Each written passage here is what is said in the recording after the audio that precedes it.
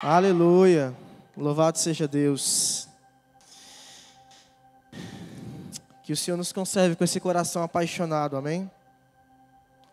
E que a nossa entrega, ela não se limite a uma programação de final de semana, mas que a nossa entrega ela seja diária, em casa, no ordinário, lavando o banheiro, limpando a casa, indo para a escola que você continue amando o Senhor com todas as suas forças, no nome de Jesus.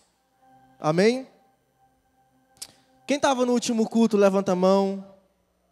Glória a Deus. Você que nos visita hoje, eu vou dar continuidade à série que nós começamos no final de semana retrasado. E o nome da nossa série é Devoção, e hoje é o nosso último episódio. Então, se você não entendeu muita coisa da mensagem hoje, volta lá nas séries anteriores para você acompanhar. E eu sei que Deus vai falar muito ao seu coração, porque eu acredito que o Senhor nos chamou para viver uma vida de devoção, amém? E nós estamos caminhando em cima do livro de Tito, Tito capítulo 1, a partir do verso 1. Você vai ver o apóstolo Paulo falando, ensinando, ensinando a Tito sobre devoção, sobre amar o Senhor, sobre entrega. E eu acredito que a nossa geração ela precisa entregar algo para o Senhor nesse tempo. E é por isso que eu acredito que esse é um dos aspectos da devoção. Amém? Mas antes da gente entrar na mensagem, envie o link do nosso culto para um amigo. E eu sei que essa pessoa vai ser abençoada por Jesus. E você que está em casa nos assistindo, seja bem-vindo no nome de Jesus. Amém? Aleluia! Gente, é culto de adolescente. Olha para a pessoa que está do seu lado aí, olha para ela e fala assim: é culto de adolescente. Tá ligado? Pois beleza. Então, se ela não der um glória a Deus, você dá um beliscão nela que ela vai gritar, nem que seja de dor. Tá bom? Mas devagar, viu? Um beliscãozinho assim de leve. Não, soco não, viu? Amém? Aleluia. Pois glória a Deus. Abra sua Bíblia comigo lá no Evangelho de João, capítulo 12. Deixa aberto aí, coloca para mim no telão esse texto. João capítulo 12, nós vamos ler verso 1 ah, de 1 ao 3. Amém? E para quem não estava em nenhum dos cultos, eu quero brevemente que você entenda algo muito importante, que eu acredito ser, ser o tema central dessa mensagem. Nós estamos conversando sobre uma mulher chamada Maria, e não é, é a Maria Madalena, é Maria, irmã de Lázaro, irmã de Marta. E ela aparece três vezes na Bíblia. E todas as vezes que essa mulher aparece na Bíblia, ela está aos pés de Jesus. Eu quero que você entenda algo dessa série. Nós temos uma posição, nós somos filhos, ok? E essa posição, ela nos leva a viver uma vida de devoção. Por quê? Porque nós precisamos estar aos pés de Jesus. Amém? Estou sentindo falta do meu tangedor. Cadê o Levi? O Levi veio hoje, vem? O Levi não pode faltar culto não, Levi, viu? Amém? Então, essa mulher ela tinha uma posição, e essa posição era importante, por quê? Porque eu e você precisamos ser homens e mulheres quebrados diante de Jesus. Eu e você precisamos viver uma vida de devoção. E talvez você ore aos pés do Senhor, mas estar aos pés não é uma condição somente de se prostrar, mas uma condição de ser alguém verdadeiro diante de Deus. Ok? Vocês estão me entendendo? Então Deus nos chama para uma vida de devoção, e essa é uma vida verdadeira, é uma entrega verdadeira, são lágrimas verdadeiras, é conhecer o Senhor para que a sua entrega ela seja verdadeira. Então o Senhor nos chama nesse tempo para estarmos aos pés. E eu sei que você, adolescente que está aqui, tem as suas lutas diárias, assim como eu tenho, assim como um jovem tem, assim como qualquer outra pessoa tem. E nós lutamos para viver essa vida de devoção. Sabe por quê? Porque o evangelho não é tão romântico como se parece. Eu li vários textos no primeiro episódio dessa série, falando sobre o apóstolo Paulo, e a gente pode pegar todos os discípulos, todos eles sofreram por causa do evangelho. E sabe o que me pega? Nós somos uma geração que não sabemos receber uma correção. Porque quando o seu pastor, ou quando o seu líder, ou quando a sua mãe, ou quando o seu pai te corrige, a primeira coisa que dá vontade de ir, de fazer, é ir embora de casa você começa a murmurar. Por quê? Porque você não aceita ser corrigido. Entende? que o Senhor ele quer aperfeiçoar a nossa vida e aquilo que eu preciso melhorar e aquilo que você precisa melhorar, o Senhor vai falar. E ele vai usar o teu pai, ele vai usar a tua mãe, ele vai usar o seu líder, ele vai lhe ensinar, porque a graça de Deus, como diz Tito 2:11, ela nos corrige. A graça de Deus ela é uma professora. A graça não é fazer o que eu quero. A graça é fazer aquilo que é a vontade de Deus. Então olhe para a pessoa que está do seu lado e fale assim: você não vai birrar quando você for corrigido. Aprenda a receber correção. Mesmo às vezes, você estando certo em algumas coisas, o Senhor ele quer te ensinar a ter um coração ensinável. Porque essa mulher chamada Maria, ela tinha um coração ensinável. Essa mulher, ela amava o Senhor. Essa mulher, em meio à crise, em meio à crise onde ela perde seu irmão, e você falou, e, e a falou sobre lágrimas no último culto, essa mulher, ela estava onde? Sendo fiel a Jesus. E o texto fala que ela, em João 11, que ela fez o quê? Ela se jogou aos pés de Jesus. E ela falou assim: Senhor, se você estivesse aqui, ela, ele não teria morrido. Ela não chegou brigando, murmurando, ela chegou disposta a se render diante do Senhor, perguntando: Senhor, mas por quê? Entende? E eu já disse isso no primeiro episódio, que o problema talvez não é o, de, não é o tanto que eu quero de Deus, esse não é o problema. Porque se eu pedisse assim, levanta a mão, quantos querem mais de Deus? Todos vocês iriam levantar a mão dizendo assim: Eu quero mais de Deus. Agora, minha pergunta é: o quanto você entregou da sua vida para Deus?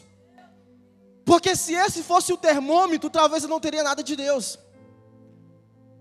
Se a minha entrega fosse o termômetro, o quanto de Deus você teria? Você já parou para pensar? Só que Deus, Ele não derramou do seu espírito como barganha. Ele não falou assim: olha, eu vou te dar do meu espírito e você me entrega tudo que você tem. Não, o amor de Jesus por mim, por você é incondicional. Não depende da medida que eu entrego, não depende da busca que eu talvez não busque. O amor dele é incondicional porque ele é Deus. Você entende isso? Preste atenção no nome de Jesus. Eu quero que você saia daqui hoje com uma decisão. Eu quero que você decida a romper em áreas que você não rompeu ainda e que você seja exemplo para a sua geração, assim como Davi foi. Esse é o seu objetivo hoje nesse lugar. Eu quero que a sua mente dê um nó. E eu quero que os seus pais se escandalizem com você em casa. Sabe por quê? Porque eu estou olhando para adolescentes que vão entregar tudo para Deus, independente do escândalo. Amém? Eu acredito muito nisso. Mas vamos ler o texto.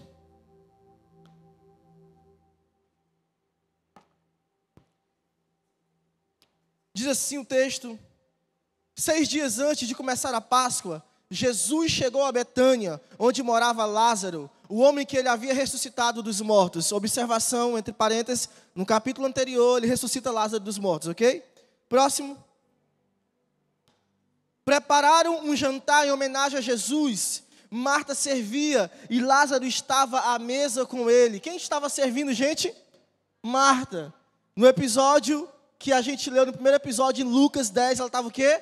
Também servindo. Gente, servir é importante, ok? É por isso que temos a projeção, temos a mídia, temos o louvor, temos todos nós que estamos aqui, estamos servindo, e servir é importante. Tá bom?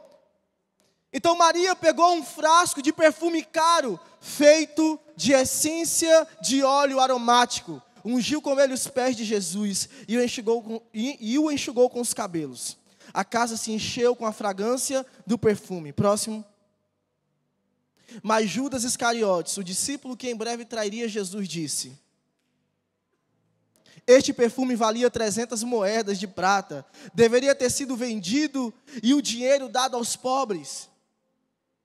Não que ele se importasse com os pobres, na verdade era ladrão, e, com, e como era responsável pelo dinheiro dos discípulos, muitas vezes roubava uma parte para si. Jesus respondeu: Deixa em paz, ela fez isso como preparação para o meu sepultamento. Próximo. Vocês sempre terão os pobres em seu meio, mas nem sempre terão a mim. Quem pode dizer amém? Feche seus olhos onde você está, no nome de Jesus. Papai querido, nessa tarde, eu quero te pedir espírito de revelação e sabedoria sobre nós nesse lugar. Ah, Jesus, como eu compreendo e entendo que a tua palavra, ela muda as nossas vidas, assim como diz Hebreus 4:12. Ela é mais afiada do que uma espada de dois gumes, ela penetra ao ponto de separar juntas e medulas, alma e espírito. E a minha oração nessa tarde é para que o Senhor invada o coração de cada pessoa nesse lugar. Jesus trazendo discernimento e um apontamento profético para os dias de hoje. Nós queremos compreender e nós queremos pôr em prática essa palavra no nome de Jesus. E se você crê, diga um amém bem forte. Amém. Eu acredito que o evangelho de Jesus ele confronta as nossas vidas. Ele nos chama para um nível diferente, um nível onde eu, eu, eu preciso abandonar as minhas vontades para agora fazer a vontade de Deus. E caminhando dentro desse texto, eu quero enfatizar alguns pontos muito importantes. Porque, porque o texto fala sobre uma mulher que quebra um perfume muito caro aos pés de Jesus. E para você ter noção de o quanto esse perfume era, era, ele era valioso, essas 300 moedas de prata, ela equivalia a 300 dias trabalhados. E ela hoje, em média, valia 15 mil reais. Essa mulher pega em números 15 mil reais na moeda de hoje e joga aos pés de Jesus. Ela rasga, ela oferece diante de Deus. Sabe por quê? Porque o que, o que importava para essa mulher era entregar tudo que ela tinha a Jesus. Quem hoje pegaria 500, 15 mil reais, perdão, pegaria 15 mil reais em perfume e quebraria aos pés de um homem? Primeiro aspecto, fé. Porque fé significa confiança. Essa mulher confiava em Jesus. Essa mulher tinha uma vida de devoção. Deixa eu te perguntar uma coisa nessa tarde. Você confia em Jesus? Sim.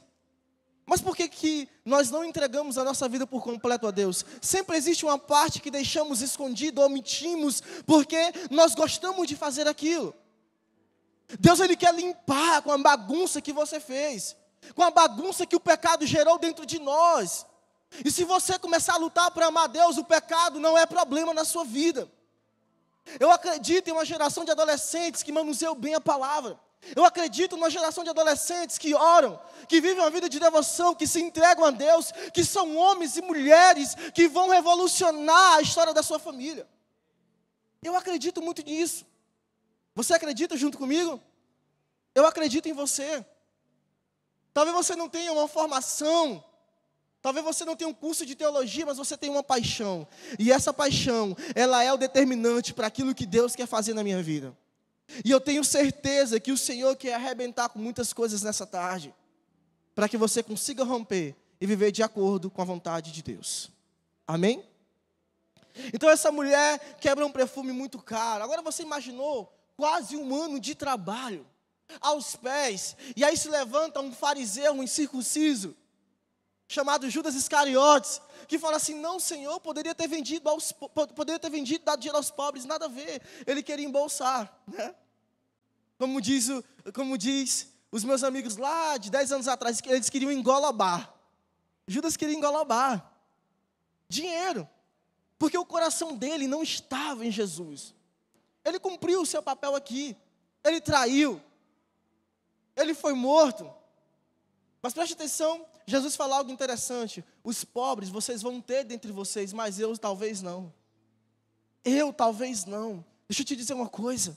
Você carrega a presença de Deus. Você carrega o Deus de todo o universo dentro de você. Você tem Jesus dentro de você. A Bíblia fala em 1 Coríntios, capítulo 3, verso 16, que eu e você somos templos do Espírito Santo. Eu não posso brincar de ser um cristão, eu não posso brincar de ir para a igreja evangélica Nova Aliança, eu não posso brincar de ir para a célula, eu não posso brincar de ir para o celulão, eu não posso brincar de discipulado. Eu preciso entender que o meu propósito é eterno, ele não se limita em uma programação pequena, mas ele é a eternidade. Eu não posso olhar somente para essas coisas, eu preciso começar a ver propósito lá. Você não é desse mundo, meu amigo. Feijoada, você não é desse mundo, cara. Você vai jogar bola, vai fazer uns golzinhos, talvez se torne jogador profissional, mas ainda assim, Todos nós temos um destino e o nosso destino é os céus. Por isso eu quero te dizer uma coisa no nome de Jesus: se você entrega pouco para Deus, comece a entregar muito agora. E na medida que você for conhecendo o Senhor, você consegue entregar coisas melhores para Ele, porque é involuntário. Entende? Você é intencional, mas é involuntário, porque isso começa a fazer parte de você agora e você não vai ver pesar. Quem já dizima aqui, levanta a mão. Quem dizima, levanta a mão. Como é que era no início de dizimar? Senhor, 10% é muito. Senhor, 10. 10% aí você deu o dízimo a primeira vez. Você devolveu a segunda vez. E hoje você. É tão natural, não sei você, mas eu. Se bem que o meu já é bem diferente, né? Porque o meu já vem descontado, né? Mas é tão involuntário, sim ou não? Assim, é tão natural na nossa vida que a gente que não pesa. Porque virou um hábito, virou prazer, virou algo que faz parte do nosso estilo de vida. Eu quero te dizer uma coisa: quando você começar a tirar tempo com Deus, quando você começar a orar, quando você começar a ler a Bíblia, vai ser algo natural. Você vai fazer isso todos os dias, você não vai lutar contra si mesmo para fazer aquilo que você não quer porque você não ama. Não, se você ama, você faz. Se você ama, você entrega. Sim ou não? E eu sei que na adolescência a gente sempre tem um amor. Ai, me apaixonei por um menino tal, me apaixonei pela menina tal. Sim, tem sim, gente, eu já passei por isso. Você é crente, mas você é feito de carne e osso, tá bom? E não é errado. Quando um homem gosta de uma menina e quando uma menina gosta de um homem, não é errado. Agora, existe um tempo para tudo. Hoje você não tem dinheiro nem para pagar o lanche depois do culto. Como é que você quer namorar?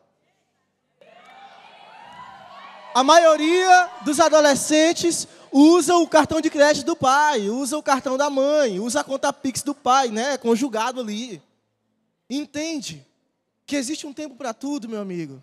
E eu já pedi dinheiro para o meu pai para namorar. Eu não, eu não, nasci crente, não, irmãos. Só vim me converter aos 16 anos de idade. Então, até aos 16 anos, eu ainda consegui aprontar. E eu pedi dinheiro para o pai. Pai, eu vou levar a gata para sair. Me dá um dinheiro aí. Entende? Então você precisa entender no nome de Jesus que amar o Senhor requer sim esforço, sacrifício. Mas para que você permaneça naquele lugar. Mas a sua entrega é determinante para aquilo que o Senhor quer fazer na sua vida. Eu quero que você saia com essa pergunta da sua cabeça nesse, desse lugar. E que ela fique martelando, martelando, martelando sempre. Se a presença de Deus na sua vida dependesse da sua entrega, o quanto você teria de Deus? Quanto? Quantos por cento? 10, 20, 30, 40 ou tudo? Eu sei que é desproporcional fazer essa comparação, porque o nosso Deus, ele, ele deu tudo que ele tinha por amor a nós, sim ou não? Mas eu quero que você pare para pensar que você consegue dar mais e você consegue entregar mais para Ele. Você consegue entregar. Nós estamos em uma geração que não consegue abrir mão de um relacionamento por causa de Deus. Nós estamos em uma geração que não consegue abrir mão de uma amizade que te contamina, porque você conhece a pessoa há 10 anos atrás. Deixa eu te dizer uma coisa. O Senhor entregou a vida do seu filho por amor a mim e a você. E você não consegue abandonar uma amizade que te contamina. Não estou dizendo que você não vai estar com pessoas que estão lá fora perdidas, porque você vai influenciar elas. Mas aquilo que te contamina, aquilo que te afasta de Deus, não é de Deus para a sua vida, meu amigo.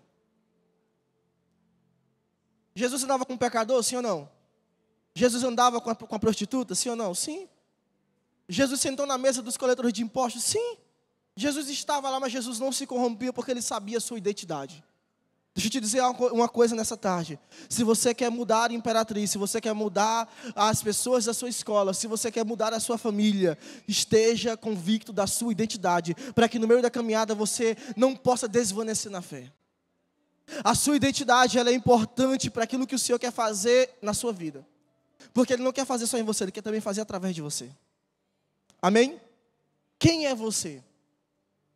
Ah, pastor, mas o meu pai não me ama, mas a minha mãe não me ama. Não importa, meu amigo. Sabe o que é importante? É que a Bíblia fala em Efésios 1,4 que Deus, Ele nos amou antes mesmo da criação desse mundo.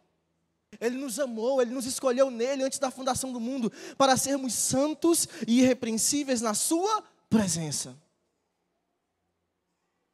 Ah, mas ninguém me escolheu, o Senhor te escolheu. Ah, mas ninguém me deu atenção, o Senhor te deu atenção. Você não é fruto do acaso.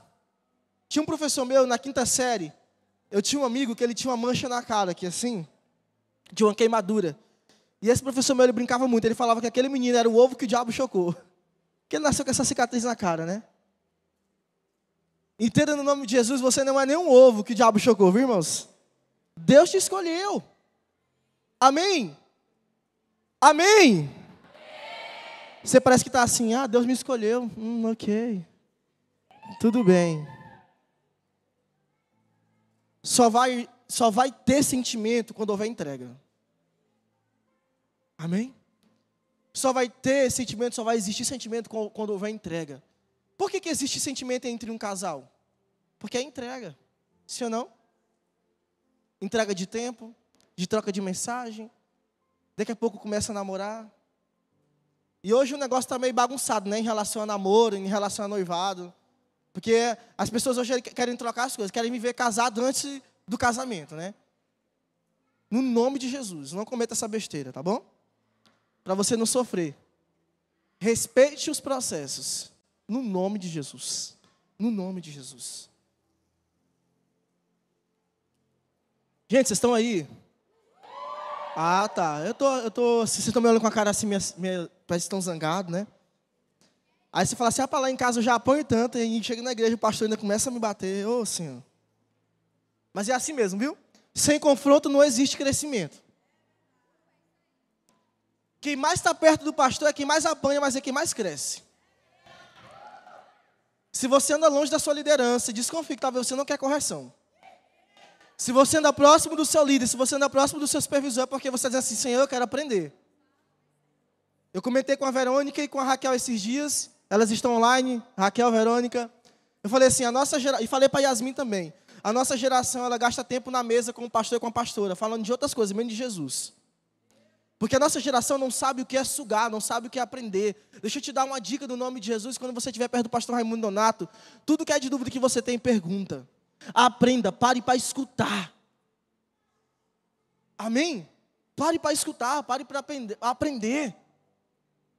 A única coisa que a gente quer saber é que tempo eu posso namorar. Esquece isso no nome de Jesus. Você vai casar, diga amém. E aí, até que, até que Jesus volte, você vai continuar casado com essa pessoa. Você vai acordar do lado dela, vai sentir o bafo dela. Ah, irmãos, não pensa que é só aquele primeiro encontro, não. Calma. Calma. É romântico. Amém? Mas o amor tudo suporta. Relaxa. Você vai ter muito tempo para namorar. Ok? Agora, o que o Senhor te pede hoje, a entrega que Ele quer é a sua adolescência. A sua adolescência sendo puro. A sua juventude sendo pura. O seu casamento, quando você casar, sendo puro. Deus, Ele quer a sua vida. Coloca para mim Romanos capítulo 12, verso 1. Romanos 12, verso 1. Se eu não terminar hoje esse episódio aqui, a gente tá, prossegue mais, né? Que eu falo muito. Olha o que o texto fala. Portanto, irmãos, suplico-lhes que entregue seu corpo a Deus. Vamos lá, gente, repita comigo. Corpo a Deus. Vamos lá, corpo a Deus. Por causa de tudo que ele fez por vocês que seja um sacrifício vivo e santo, do tipo que Deus considera agradável. Essa é a verdadeira forma de adorá-lo. O que, Deus está pedindo de nós? O nosso corpo. Por isso eu quero te dar um outro conselho. Rapazes e moças que estão aqui, não entregue o seu corpo para ninguém, a não ser para o seu marido. Você vai entregar o seu corpo para Deus. Amém? Você vai entregar a sua vida para Deus. Porque a defraudação pode roubar aquilo que você sonha para o futuro. A defraudação pode roubar o sonho de um casamento. A defraudação pode roubar o sonho de alguém que vai caminhar com você para o resto da sua vida. O seu corpo pertence ao Espírito Santo. E eu quero adentrar em um assunto mais profundo. Não abuse você mesmo do seu corpo. No nome de Jesus. No nome de Jesus, para de ver pornografia no nome de Jesus. Para de usar o seu corpo. O seu corpo é templo do Espírito Santo. se você não consegue abrir mão de um amor por Jesus, esse amor que você diz que tanto ama, está sendo prioridade na sua vida e não Deus. Agora, que entrega é essa? Deus não quer qualquer entrega. A Bíblia fala em Apocalipse: se você é morno, Deus vomita. Nem todo dia você vai estar canelinha de fogo, nem todo dia você vai orar em línguas, che, cantará, não, irmãos. Nem todo dia, mas todos os dias você decide amar a Deus, dizendo: Senhor, hoje eu não estou com vontade, mas eu te amo. Declare isso para a sua alma. Manda a tristeza embora, manda a preguiça embora no nome de Jesus. Manda esses pensamentos do inferno embora da sua mente no nome de Jesus. Eu estou sendo bem papo reto com vocês hoje, tá? Bem diferente do que eu prego. Eu quero, eu quero água, acabou. Por favor. Gente, eu estou com a boca meio torta assim, é porque eu estou com um negócio aqui debaixo da boca. Um afta que ficou desse tamanho assim e está diminuindo agora. E aí eu descobri, Edinho, que a afta era por causa dos remédios. Alguém me falou, é não, é por causa dos remédios. Aí eu tomei tanto comprimido que tá uma moeda assim. Mas enfim, gente, eu estava falando sobre o quê? Sobre nos entregarmos a Deus, amém? Você precisa se entregar para Deus. Eu quero te desafiar nas áreas que você ainda não entregou para Deus, que você vai entregar hoje no nome de Jesus. Nós vamos orar no final do culto. Nós vamos fazer um voto com Deus. Aleluia. Vocês estão dispostos a isso? Deixa o Senhor te tocar. Talvez você está aí sentado falando assim, pastor, eu estou tão frio. Fala assim, Senhor, me toca nessa ministração. Me toca até o final do culto. Fala comigo, Espírito Santo de Deus. Porque o voto que você faz é com Deus e não comigo, irmãos. Você precisa amar a Deus com tudo que você tem hoje. Porque eu tenho certeza que vai valer a pena. Vai valer a pena. Vai valer a pena. Eu não sei se vocês souberam do falecimento do Samuel Brito, irmão de célula de algum de vocês. E eu estava lá junto com alguns discípulos e alguns de vocês que estão aqui. E muitas pessoas falaram do Samuel. E uma das coisas que me marcou naquele velório foi que o Samuel serviu ao Senhor e cumpriu o propósito dele aqui nessa terra. E Jesus ele vive. E no final do, da palavra do culto fúnebre, eu fiz um apelo por direção do Espírito Santo e a tia dele aceitou Jesus. Acredito eu que a tia dele era católica, mas ela falou assim: esse foi um dos pedidos que o Samuel fez para mim antes de ir que ela conhecesse o Senhor. Entende? O que é, como o evangelho é poderoso e Jesus opera a vida onde há morte. Porque João fala sobre isso. Que ainda que eu morra, eu viverei. O seu corpo, irmãos, ele vai ficar velho. Você vai morrer, você vai voltar para o pó. Mas o seu espírito que te conecta, ao Pai, irmãos, isso é eterno. Aquilo que você constrói em Deus é eterno. Se eu fosse você, eu começava a me despertar para aquilo que o Senhor tem para fazer nesse tempo. Porque eu acredito que o Senhor, Ele quer fazer algo poderoso na sua vida e na vida daqueles que estão próximos de você. Amém?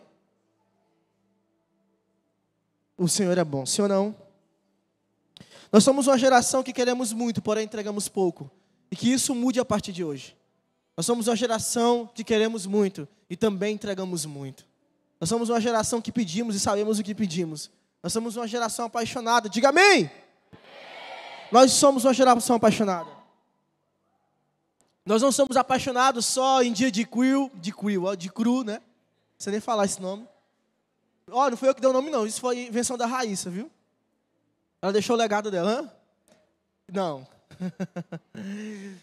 A gente não pode somente celebrar e ser um crente no, na, nos dias de acampitim, nos dias de escola, nos dias de conferência, não, irmãos.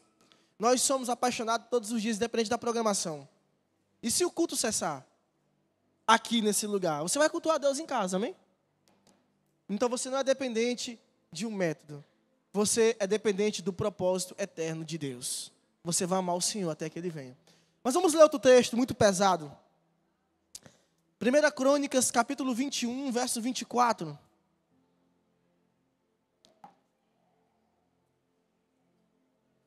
Diz assim um texto: O rei Davi, porém, respondeu a Araúna. Em outras versões fala Ornã: Não faço questão de comprá-lo pelo preço justo. Não tomarei o que é seu para oferecer ao Senhor. Não apresentarei holocaustos que não me custam nada. Em outras versões, né? Não apresentarei. Cadê? Volta um pouquinho. Não apresentarei holoca holocaustos que nada me custaram. Próximo. Então Davi pagou a Araúna 600 peças de ouro pela eira. Quem pode dizer amém? Pastor, não entendi nada. Fica tranquilo que eu vou te explicar agora. Davi, ele comete um pecado. Davi, ele começou a levantar o censo do povo de Israel e Deus não mandou ele levantar o censo. Deus não mandou contabilizar. Mas Davi desobedece, Davi levanta o censo, mas Deus não se agrada porque Davi fez aquilo que não, que Deus não pediu. E aí Deus usa um homem chamado Gade, o profeta Gade. Fala assim: Ó oh, Davi, Deus não se agradou. Isso é na versão da Caiama atualizada, viu? Depois você lê lá os capítulos anteriores. Ó, oh, Deus não se agradou. E deixa eu te dizer uma coisa, Davi. Você tem três opções de sofrer pelas consequências do seu pecado. E uma delas é sofrer pela mão do Senhor. A outra é pela, era pela mão dos inimigos e a outra eu não lembro agora. E Davi falou assim: não, vou sofrer pela mão do Senhor.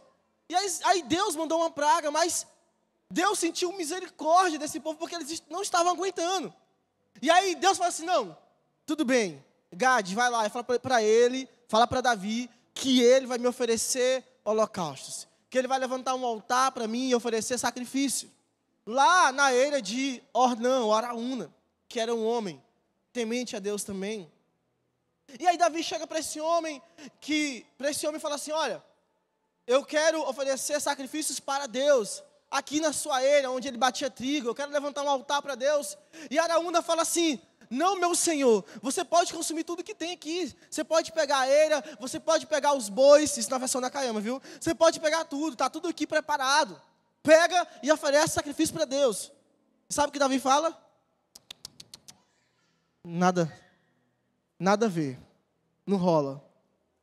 Davi fala assim: não, eu não quero entregar para Deus aquilo que não me custe nada. Eu quero comprar. E aí o que, que Davi faz? Davi, Davi paga. 600 moedas para o quê? Para comprar o holocausto, para comprar a eira, para oferecer sacrifício para Deus. Eu quero chamar sua atenção para algo nesse texto. Nós somos uma geração que temos oferecido para Deus aquilo que não nos custa nada. E isso é preocupante. Nós precisamos entender que a minha entrega precisa ter um real valor. A minha entrega precisa ter valor. A gente quer entregar para Deus aquilo que não nos custe nada. Gente, quando já recebeu um presente aqui? Sei lá, um videogame, um celular, alguma coisa assim. E sabe o que, o que me chama a atenção? É que quando a gente recebe um presente, quando a gente recebe algo, a gente não dá tanto valor quando, como a gente compra. Sim ou não? Quando a gente compra, a gente fala assim, sal do meu bolso. Mas quando a gente ganha, ah, eu ganhei. Ah, o Edinho ganhou a guitarra, ah, tudo bem. Mas quando compra, a gente sabe o centavo, a gente sabe o valor que tem, a gente sabe do suor, a gente sabe que passamos talvez anos juntando dinheiro. E é isso que eu quero que você entenda uma coisa no nome de Jesus nessa tarde. Deus entregou o seu filho por amor a mim e a você. Não foi eu e você que pagamos um preço. Então a tendência que temos é de não valorizar aquilo que Deus fez na cruz por meio de Jesus pelas nossas vidas. Por quê? Porque não foi eu que paguei. E tem muita gente vivendo o evangelho do jeito que quer porque não sabe o valor de uma entrega verdadeira. Agora, Deus sabe o que ele entregou. João 3,16. Porque Deus amou o mundo de tal maneira que ele entregou o seu único filho. O seu filho Jesus por amor a nós. Preste atenção no nome de Jesus. Preste atenção. Nós precisamos entregar para Deus aquilo que nos custe alguma coisa. E eu quero te perguntar nessa tarde: o que, é que custa alguma coisa para você? Talvez não seja valor em, em dinheiro. Mas talvez seja valor em perda. Mas no reino de Deus a gente perde para poder ganhar. No reino de Deus a gente entrega e Deus devolve, irmãos. No reino de Deus a gente entrega e Deus dá o dobro. Sabe por quê? Porque os sonhos de Deus são maiores do que os nossos. Eu tenho certeza que eu estou olhando para adolescentes que serão prósperos no nome de Jesus. Sabe por quê? Porque honrarão pai e mãe. E viverão muito e viverão bem. Diga amém. Pastor, não tem um pai nem mãe. Honre quem cuida de você. Amém? Honre quem cuida de você. Então nós precisamos entender no nome de Jesus que a entrega que Deus quer é uma entrega de coração. Deus deseja uma entrega de coração, uma entrega verdadeira. Quem já deu alguma coisa não querendo dar? Ah, vou dar porque é o jeito mesmo, né? Não tem outra escolha. Não pega. Não é de coração.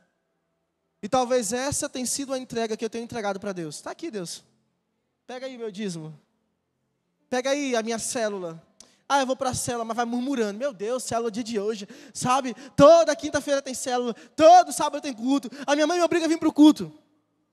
Não existe entrega verdadeira. Deus quer mudar com isso essa tarde no nome de Jesus. Quem pode dizer amém? Deus quer uma entrega verdadeira. Se Deus ele tem o nosso coração, ele tem a nossa vida. Se Deus não tem o nosso coração, nós temos, ele tem uma entrega que não é verdadeira.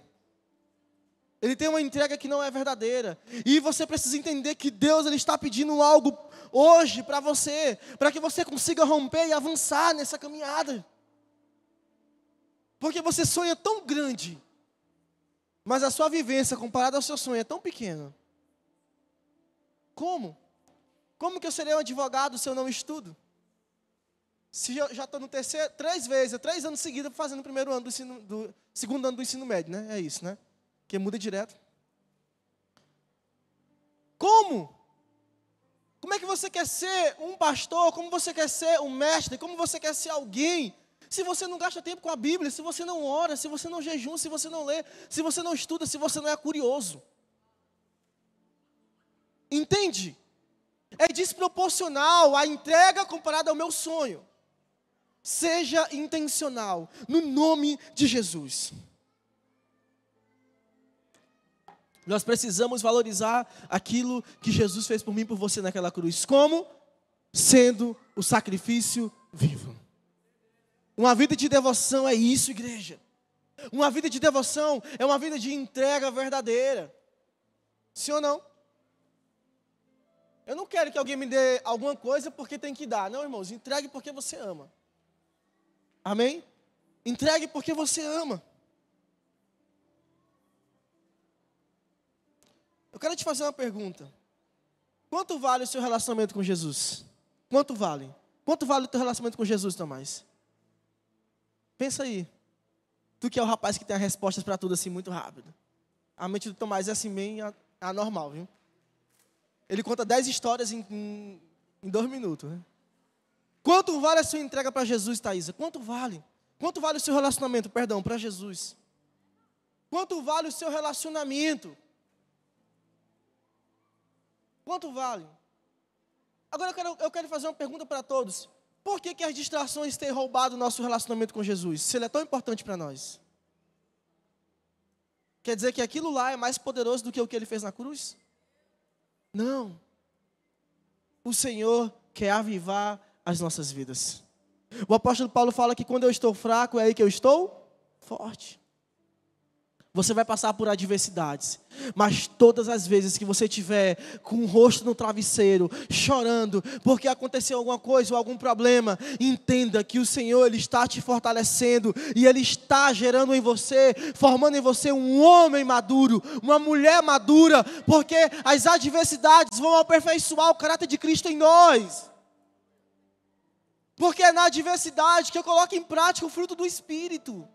O amor, a paciência, a paz, ser longânimo, é nesses momentos que eu começo a colocar em prática aquilo que eu aprendi na Bíblia. Eu preciso amar o meu próximo como a si mesmo. E quando o seu irmão faz alguma coisa para você, como é que ama? A vontade é de pegar e pisar. Mas aí você vai olhar para Jesus e vai dizer assim: Senhor, eu quero amar como o Senhor ama. E você começa a amar o seu próximo. Como, como colocar a paz na prática se tem sempre alguém cutucando você, enchendo o seu saco, te perseguindo, jogando direto na internet? Como, irmãos? A Bíblia fala que nós estamos rodeados de uma grande multidão de testemunhas. A Bíblia fala, se possível, caminhe em paz com todos. É difícil, mas nós conseguimos, amém? Nós conseguimos. Então entenda que a nossa entrega é determinante e o seu relacionamento com Jesus precisa custar alguma coisa. olhe para a cruz e entenda que o Senhor, Ele está aperfeiçoando a nossa vida. Eu vou já caminhar para terminar. A presença de Deus, ela precisa custar tudo para você. Amém? Salmo 51, 11. Davi, ele faz uma oração. Senhor, me tire tudo, mas não me tire a tua presença. Amém? Feche seus olhos onde você está, no nome de Jesus. Todos vocês que estão aqui, feche seus olhos. Faça essa oração. Senhor, me tire tudo, mas não me tire a tua presença. Repita isso mais uma vez. Senhor, me tire tudo, mas não me tire a tua presença. Senhor, me tire tudo, mas não me tire a tua presença.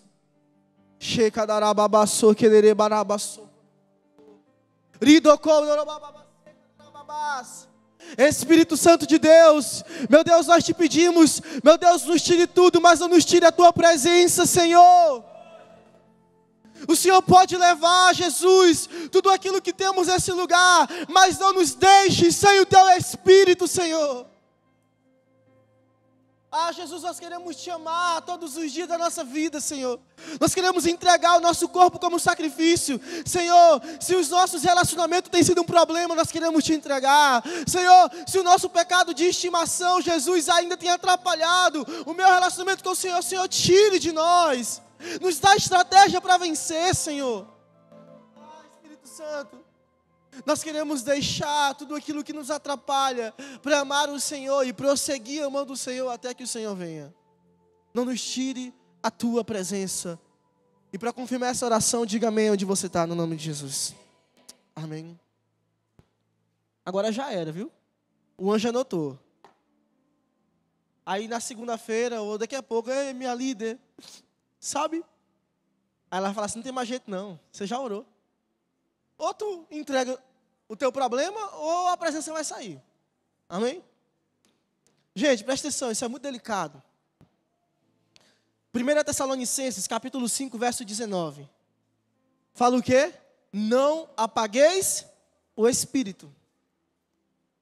Se você não ama a Deus de verdade, se você não tem comunhão com o Espírito Santo, por consequência, vai acontecer isso.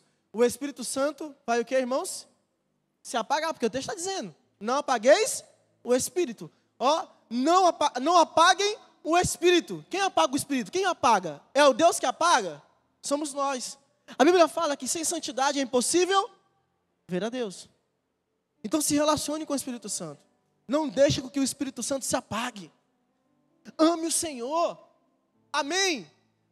Seja radical. Seja radical na sua escola, onde você estiver. Ei, fulano, vamos fazer isso aqui, ó. No final da, da aula a gente vai se encontrar com a menininha. Não, meu amigo. Você é viado, não, é porque eu amo alguém mais do que essa moça. Eu amo Jesus.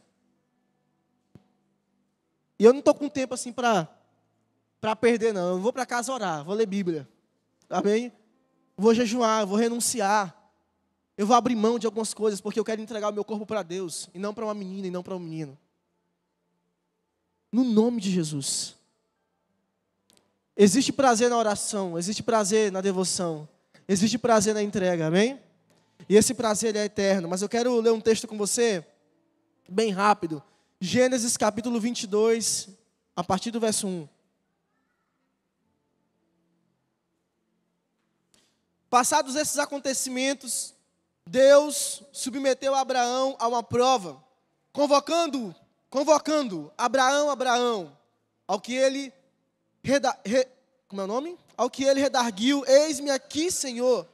Então Deus lhe ordenou: toma Isaac, teu filho, teu único filho, a quem tu amas, e vai-te à terra de Moriá, sacrifica ali como holocausto sobre um dos montes que eu te indicarei. O que que, o que, que Deus pede para Abraão? O seu filho. O que, que Deus queria? Uma entrega. Agora, vamos lá, para você entender melhor. Qual era o sonho de Abraão? Qual era a promessa? O filho, Isaac. O seu único filho. Ele não podia ter filhos, para você entender melhor. Aí agora Deus dá o filho, Deus opera o milagre, aí Deus pede o milagre? Não faz sentido, sim ou não? Mas Deus queria provar o coração de Abraão. Deus queria provar o coração de Abraão. E aí sabe o que, que acontece? Vem cá, Caio, rapidinho. Vem cá. Vem cá, tu que sorriu. Vem cá. Gostei de ti. Rapidinho. Só ele, tu e ele, vem os dois. tá com vergonha ele. Vem cá. Salve aí, salve aí. Bota ele nas costas, cai aí. É teu discípulo, é? Ah, então pronto, vai dar certinho. Sobe aí. Como um sacrifício mesmo, assim, ó. De lado, de lado. De lado, vira aí. Pega ele nas costas. Bota ele. Bota aqui, ó. Nas costas. Eu vou ter que pegar. Isso, agora. Levanta, Caio. Se tu não der conta. E aí, Abraão tá pegando aqui o seu sacrifício, ó. Deita nas costas do Caio. Vem, Caio, anda.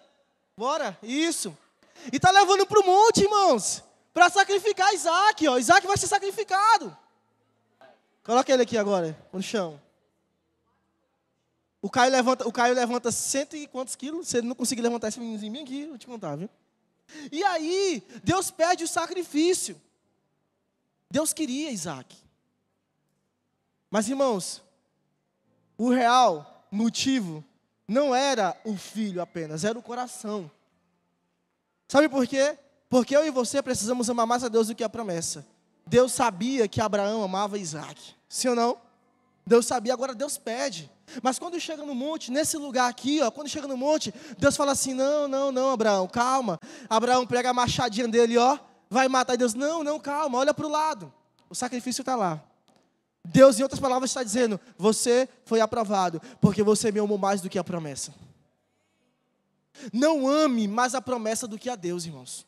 Ame mais a Deus do que a promessa, porque Deus vai te dar um ministério relevante, Deus vai te dar uma célula cheia, Deus vai te dar uma rede, Deus vai te dar muitas coisas, mas nada disso pode ocupar o lugar de Deus no seu coração. Eu não posso amar mais a aliança Tim do que a Deus. Eu não posso amar mais a minha esposa do que a Deus, irmãos. Eu preciso amar a Deus sobre todas as coisas. E Abraão amou a Deus. Quem é esse homem que, em sã consciência, pega o seu filho, sobe no monte para matar, em outras palavras, para imolar aquele menino, porque Deus pediu? Que loucura! Como Deus dá e Deus pede? Isso é uma entrega verdadeira. E a entrega verdadeira não era Isaac, a entrega verdadeira era o coração. Se Deus tem o teu coração, Deus tem tudo. Diga para a pessoa que está do seu lado: se Deus tem o teu coração, Deus tem tudo. Amém? Aplauda o Senhor Jesus. Obrigado, viu? Se Deus tem o seu coração, Deus tem tudo. Amém? Agora a pergunta que não quer calar: Deus tem o teu coração? Porque quando Deus pedir, e aí? E quando Deus pedir? E quando você se enganar? E quando você tentar burlar a lei de Deus, dizendo: Ah, Senhor, eu queria tanto Isaac, mas a minha esposa não pode me dar Isaac. Eu vou gerar um Ismael aqui. Porque não sei se você sabia, Abraão gerou Ismael antes de Isaac. Abraão tentou forçar a promessa. Abraão tentou antecipar. Abraão tentou resolver com seus, com seus próprios braços aquilo que não era de Deus. E tudo aquilo que não é de Deus para a minha vida, meu amigo, me rouba daquilo que o Senhor tem para fazer.